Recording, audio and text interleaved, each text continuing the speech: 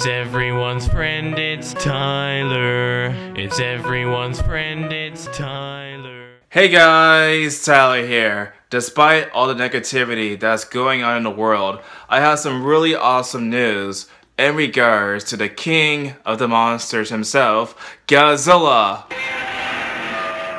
Yeah, I could tell that he's actually really, really happy about this sort of news that I'm talking about right now. A new service online called HBO Go was more recently released onto the public, and of course, if you type in Godzilla for that service, you'll find the first 15 movies for Godzilla. Not only would you find the first 15 movies, but also if you type in Rodan, you'll find Rodan, and if you also type in the War of Gargantuas, you'll find the War of Gargantuas, and of course, if you type in the X from outer space, you'll also find the X from outer space. This type of news is very exciting for people like me because to my knowledge, it is like the first time that any series of Godzilla movies are actually featured onto like a streaming platform because to my knowledge, like Netflix United States does not have any of the Godzilla movies. And matter of fact, the only way to see these type of movies nowadays, of course, are the Blu-ray and of course the DVD releases. However, this is the first time any sort of streaming service have, of course, Godzilla movies, of course, some other Toho movies that were made in the past, and so, if you're a fan, of course, of like the giant monsters like Godzilla, of course, HBO Max is the way to go for this whole entire series if you guys are really, really like it, this kind of genre. What I find so fascinating about this news is the fact that this came out the same time as other tokusatsu news. We know for a fact that Shout Factory has the streaming rights to Kamen Rider. We know for a fact that Arrow Video also have a Gamera set coming up. We also know for a fact that Toei Studios have their own Tokusatsu channel for those who want to see the old school shows. And of course, we know for a fact that there's other releases like the Mill Creek release for like the uh, Battle in Outer Space and the H-Man double feature. So it seems as though there's like a really, really big push right now in terms of Tokusatsu for the American audience. If you told me years ago that all 15 Godzilla movies plus Tokusatsu's TV shows would actually be available for free for people like me, I would never, ever, ever believe you. And the main reason why I would say that is because back in the early 2000s, like these movies were like super, super hard to find, especially, especially the Japanese cuts. Like, of course, it was kind of easy back then to find the American cuts, but as far as the Japanese cuts, what you had to do in the past was actually, of course, import the DVD directly from Japan or buy a bootleg to actually see these films uncut. So, these newer fans of Godzilla have no idea, just absolutely no idea how lucky they have it nowadays because starting in the mid 2000s, they actually finally released like the Japanese cuts for the first time with the classic media sets. And of course, we got Criterion releasing it nowadays.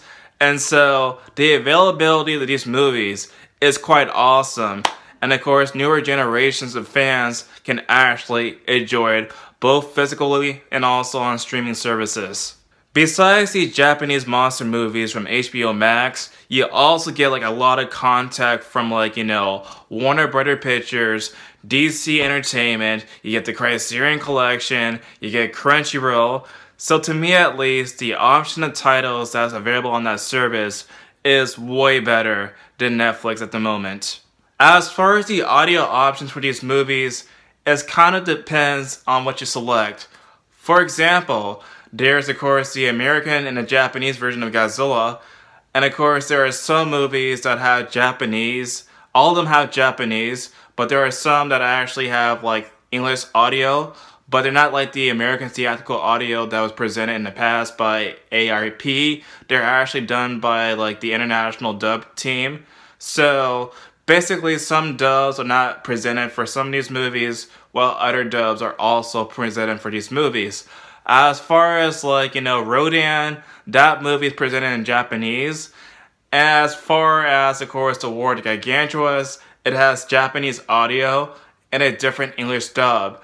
Now, the dub that was done in the past, of course, it had like the voice actors doing like different voice acting, whereas this one is kind of different in a sense. So, it seems as though like you probably not get as many options like on an official DVD release, but it's still pretty nice to check out these movies when you get the chance to. So, in celebration of this announcement, I of course am going to dance. Hey Godzilla, are you ready to dance with me?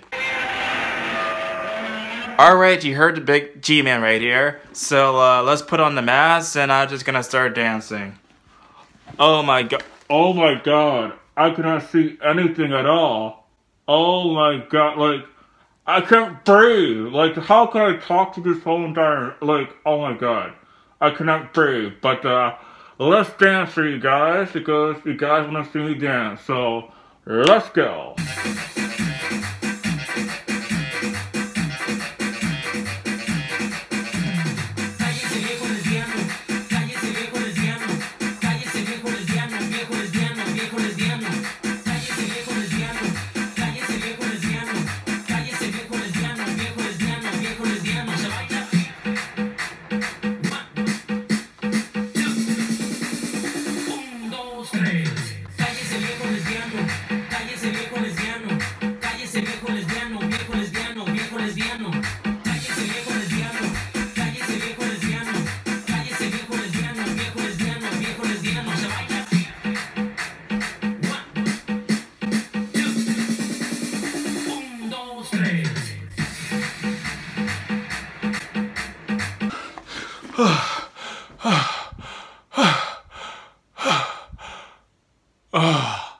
I'm dead. I'm freaking dead.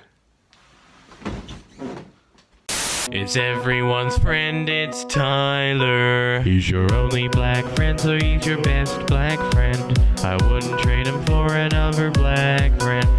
Because black friends are rare, as you should be aware. He smiles like Richard Pryor, so just sit and stare. It's everyone's friend, it's Tyler. It's everyone's friend, it's Tyler.